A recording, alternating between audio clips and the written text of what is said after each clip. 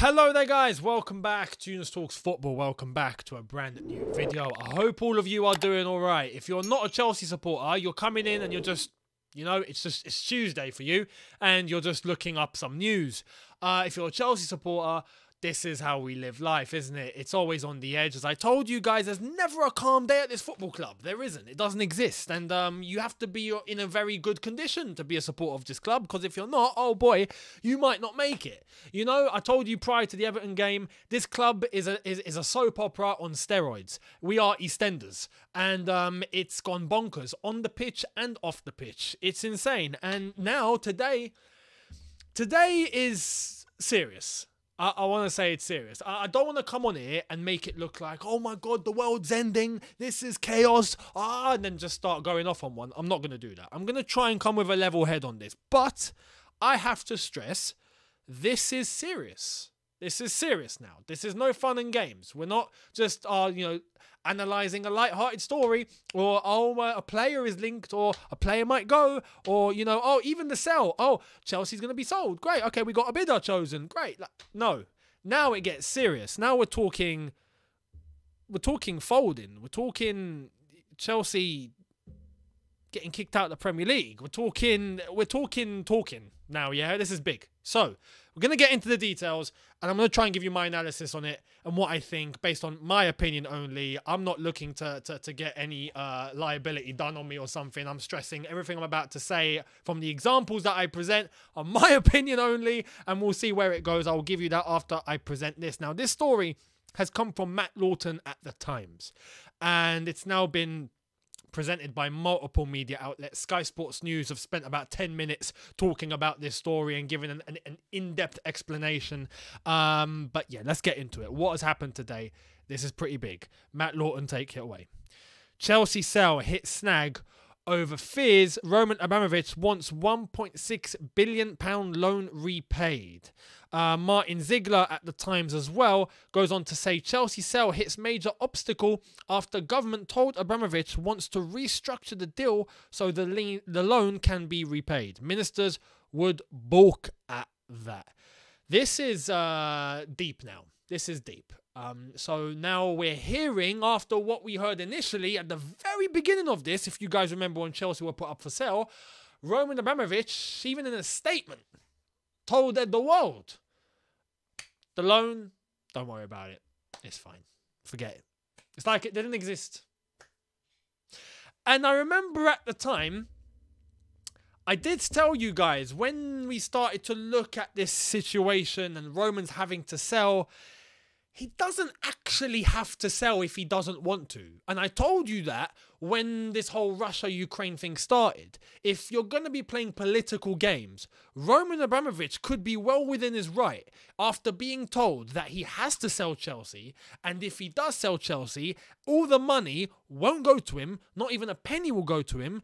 Basically, he's in a lose lose situation. When you put someone in a lose lose situation, guess what? They ain't got anything to lose.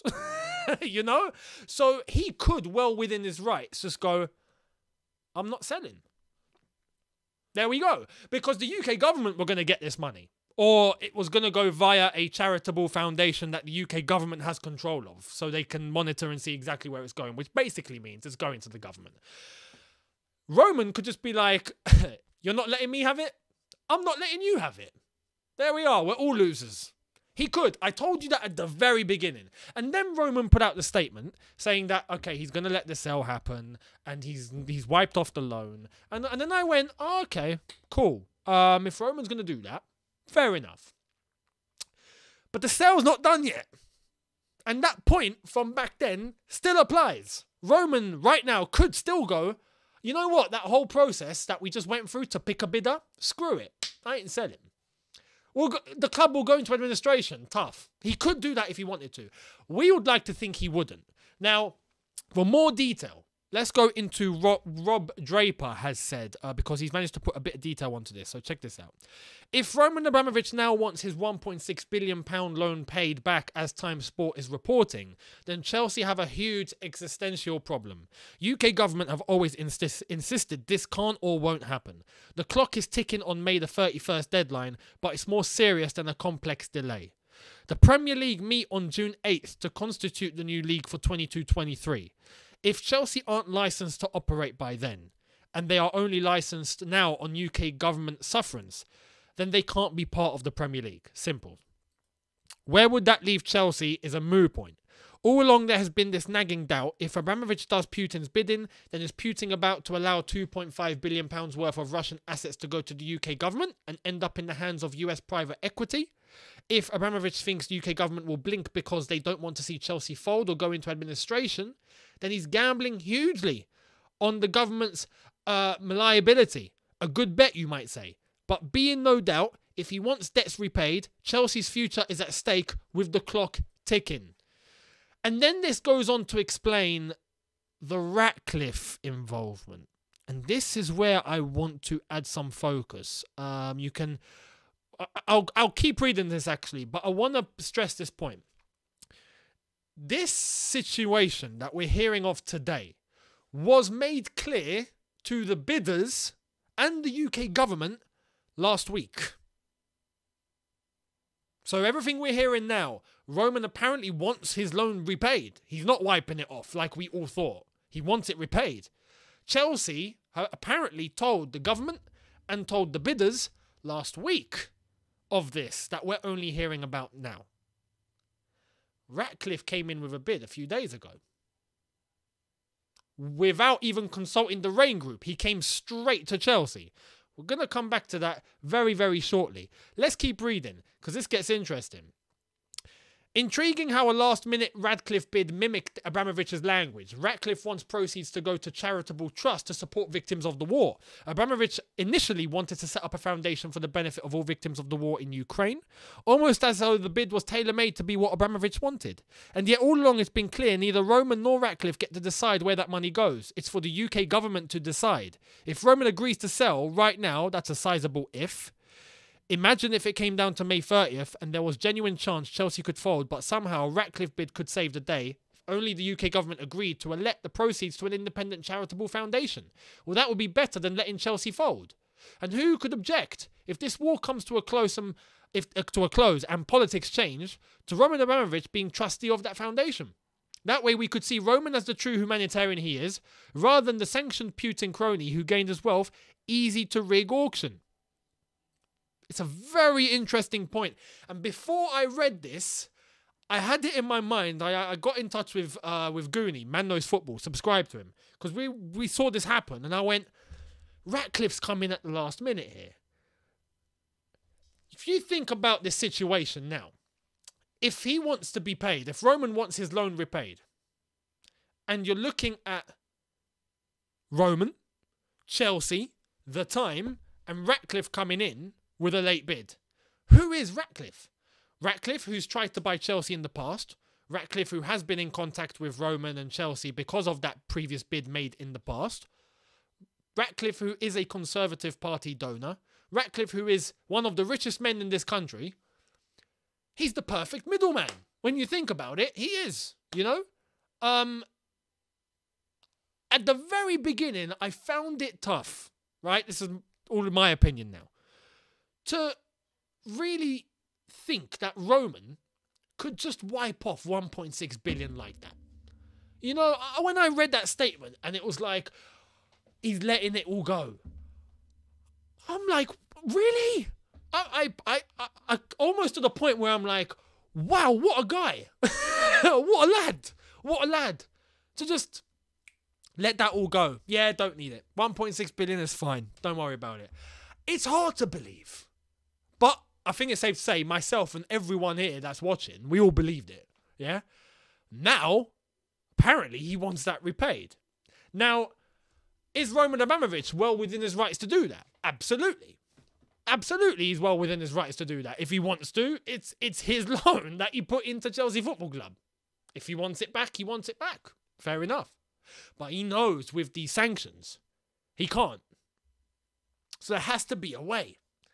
And this is where it gets sticky. This is where now we find Roman, Ratcliffe, the UK government, this, that, and the other, loans, Raine Group. All we're bothered about now is Chelsea Football Club. And this is the one thing that's the common denominator between all of this madness that no one's talking about here. Chelsea Football Club have until May 31st to get either an extension on the license, which is what I think might happen. I find it very, very hard to believe that just that Britain could just let Chelsea fold. It, it, it's, it's, I don't think that, I don't think that will happen. But it's a possibility. And, you know, there's risk. And sometimes that risk is a bit too big. And as I've said, Roman realistically doesn't really have anything to lose. You don't think he has uh, investments and assets and all that elsewhere. You don't think he's got nothing back at home. Of course he does. If this were to go the worst way possible for him, or he doesn't get a penny. All right, cool. But neither do the UK government. And if we're talking on a political level with what's happening in the world right now, that would suit Russia very, very nicely. For them to just see Chelsea crumble and to see the UK government not get a penny, I mean, Chelsea crumbling doesn't concern them at all. But to see the UK government not get anything from it, cool, no problem, fantastic. They've won. They've won. you know? At the same time, if the UK government do get something, that doesn't sit right with them. So Roman is probably well within his rights to go, yeah, pay me back my loan. Pay me back my loan. I think this is a political move. Political move to either not allow the British government to get a penny, or two, to eventually get his loan back one way or another. We'll wait and see. Now, there's more detail um, concerning Chelsea Football Club. Let's get into this about what are the consequences. Matt Law. Some sources claim that Chelsea would be expelled from playing in the Premier League next season if a sale has not gone through by the end of this month, and any minor delay would now put that in jeopardy. So, okay, this brings me back to the extension point. We can't even get an extension. As made clear um, by Martin Ziegler or Rob Draper that I read earlier on, the Premier League meet on the June 8th in order to, to constitute who's participating, how are we going to do this, and to start preparing for the new season. If Chelsea are not sold by then, we can't enter that conversation. We would go into administration. And this is where I, I have to stress there is a big risk here now.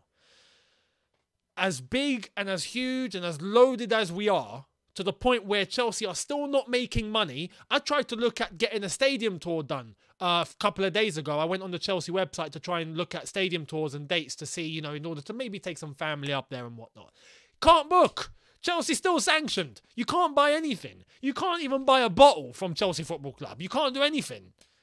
Not a penny has gone into this club since we heard about all these sanctions happening up until now. Yet Chelsea are still operating. Chelsea are still allowing themselves to function with the money that they have. We are a big club. We are able to go on a little bit without anything coming in.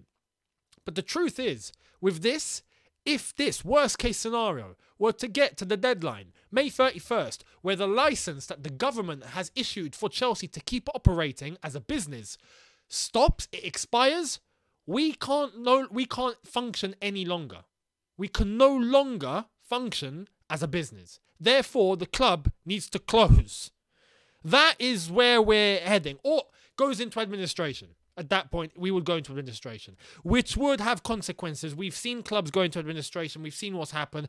I mean, remember teams like Wimbledon, for example. Look at what happened to them. You know, you end up going down to flipping National League and all them lot and having to try and make your way back up. That, I mean, that's the worst case scenario. I'd like to think that won't happen. My own opinion, I think Jim Ratcliffe's going to be the middleman in all of this. That's my opinion. My opinion. I think Jim, in the end, will be the one to solve this issue. If it's actually legit that Roman wants his loan repaid. Because now, Todd Boehly, who is the preferred bidder by the Raine Group, he'd need to accept this. That consortium would need to accept this. And so would Jim, as far as I'm concerned. But he hasn't gone via the Raine Group. They would need to accept this. Raine would need to go, okay, yeah, we, we, we agree with this too. Jim's bypassed that process. He's not part of Raine. He's gone straight to Chelsea. So even if Todd Boehly and his consortium go, okay, yeah, we'd need, we we'd be happy, I guess, to pay that loan as well. The Raine Group would have to be like, okay, we'd be happy to facilitate that as well, because now apparently the the, the structure of the cell has changed. It's crazy what's happening. But Simon Phillips has put one very interesting point here. Check this out. Roman Abramovich knows what is going on at Chelsea right now. Not many others do. That's key to remember. A lot of us are not on the inside. There are things happening, and the proof is in the pudding. Apparently, what we're hearing today was told to the bidders and to the government last week. We've only just heard about it today. Things are happening behind the scenes that we don't know. That's the truth. But in order for everyone to be a winner in this, you need the government to be able to get the money from the sale. You would need Chelsea to get this sorted by the end of the month. You would need the 1.6 billion pounds repaid to Roman Abramovich. If you're able to facilitate those three options, everyone's a winner. My opinion, enter Jim Ratcliffe. That's how I think it's going to go. But anyway, we'll see what happens. Um, this is big. And the truth, truth, truth be told, the only thing with Jim Ratcliffe is my concern. The one thing that helps him is that he's based here. Well, not based here, but he's British. Therefore, everything could go very smoothly. But he owns Nice. I don't know how long that would take in order to. Would he have to sell Nice? You know, in order to, to take Chelsea Football Club, would he get an exception that will allow him to keep both? Would he get exception on time in order for him to acquire Chelsea with with a condition that he must sell Nice in a further in a certain time period? Will he get that? Because Chelsea have to sort this out by May 31st. If we don't, we risk with one week after that the Premier League meeting and us not being a part of that conversation. Therefore, we would not be playing Premier League football next season. Then we're in trouble. So it's going to be a very interesting few days. That Rob Draper report that I mentioned to you that I read the thread of, I just want to say a lot of ifs in there. There's a lot of speculation on his part, a lot of scenarios. Um, I did say I want to be level headed and I want to be fair in this. Um, but the truth, truth be told, many big sources have come out today, including Matt Law and including uh, everyone talking about this as of today. Chelsea are in a pickle now this is serious. So this needs to get sorted. We have until the end of the month. No matter what happens, Chelsea need to be safe. That's priority number one. So we'll wait and see what happens. Let me know down below your thoughts on this entire saga. And just as we thought, maybe it's all coming to an end, even if Jim Ratcliffe has entered the bidding, we thought the bidding would come back down to two and we're going to pick one and that everything's going to be sorted, if it's Boehly or if it's Ratcliffe. And now turns out we just don't know. We just don't know. It's one twist after another twist after another twist. Will Chelsea be saved? Um, wait and see. Let me know your thoughts down below. Much appreciated. Hit the subscribe button if you are new. Hit the notification bell to be notified once I've uploaded. Smash like button if you have enjoyed this. And I will see all of you tomorrow for a brand new one. Have a good one, people. In a bit. Take care. And peace.